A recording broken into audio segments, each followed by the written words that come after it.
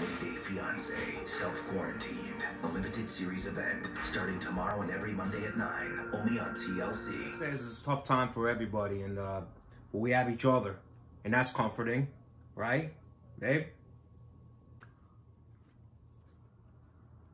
I don't want to be too vulgar about this, but she let me her in the This one, he is, uh, how do you say, very like a pig, you know, like very eating, eating, eating, and, uh, you know, very, uh... healthy. Babe, what happened? You ate all in one hour?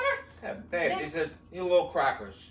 Little cracker, little little piece of toast, and you're my little cracker, huh? My family will kill you! Nie pocięcie She's got a lot of spirit, a lot of energy, a lot of pep. You know, Spend a lot of time in the bathroom though, you know. Should have been in the bathroom for like 10 hours, but what are you gonna do? It's the culture, right? Babe? Come on, I gotta go. I gotta take a huge dump. Anyway, I'm thinking of proposing. I'm just, I'm waiting for the right moment, you know? You never know when that could be. And, uh, you know, when she comes out of the bathroom, obviously.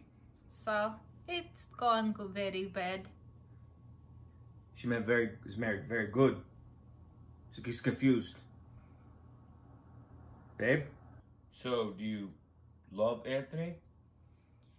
Well, you know, it's so crazy because in my village we did not have a refrigerator and uh, Anthony have that and I do love that about him. But you know, his face is very not good. Uh, but you know, we're going to work on it. You know, we've had a little bumps and bruises, uh, but you know, we're in this together.